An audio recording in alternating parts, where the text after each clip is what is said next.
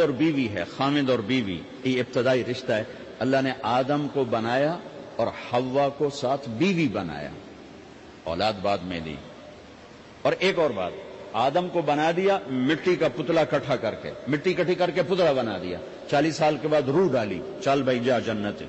और अकेले भेज दिया, बीवी नहीं दी। हालाँकि अल्लाह चाहता तो साथ ही हज़रत हवा की मिट्टी का ढेर भी लगा देता, उसका पुतला भी थप देता, फरिश्तों से थपवा देता। और फिर चालीस साल के बाद दोनों को इकट्ठा जन्नत में डालता। बहुत सारे पैगाम। इस में बहुत सारे पैगाम। ताखीर साथ नहीं बनाया। देर से भेजा।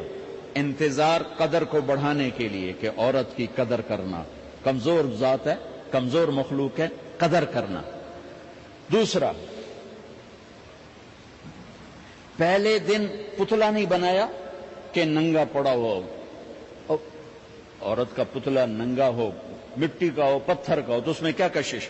तो इन मर्द के लिए कशिश कोई नहीं तो फरिश्तों को क्या कशिश थी? पहले दिन से औरत को पर्दे में बनाया, बेपर्द नहीं किया, बेपर्द नहीं किया।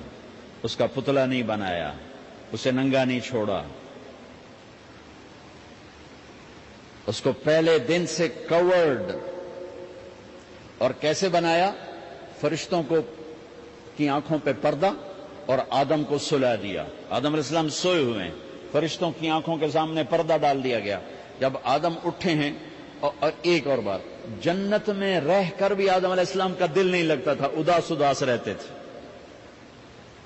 अम्मा आई तो बाबे का दिल लगा।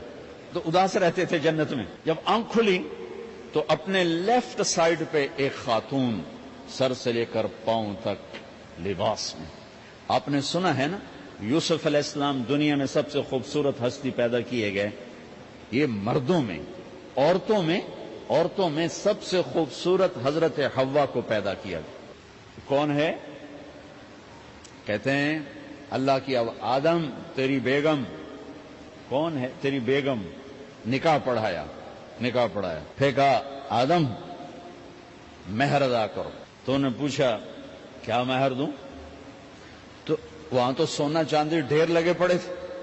अल्लाह ताला कहते, दा मन सोना चाह के दे। दे मेरे अल्लाह ने कहा, तेरी नस्ल में मेरा आखिरी हबीब आने वाला है, उस पर एक दफ़ा दरूद पढ़ दे, ये महर है। सीधे हाथ में बरकत है, पैदा किया उल्टी तरफ़ से। उल्टी तरफ़ से क्यों पैदा किया है? कि उल्टी तरफ़ दिल है, और दिल के नीचे जो पसली है, वहाँ से पैदा किया। इसमें पैगाम क्या दिया? कि औरत जिस रूप में हो पहला रूप उसका बीवी बना। फिर वो माँ बनी। फिर उस आगे बेटी का रूप है। फिर बहन का रूप है। फिर खाला है, फूफी है, दादी है, नानी है, सास है। जिस रूप में भी औरत है, उसको दिल के करीब जगह दो। ये दिल के नीचे से पैदा करने में ये पैगाम दिया गया है। इसे जलील ना करो, इसे ख्वार ना करो।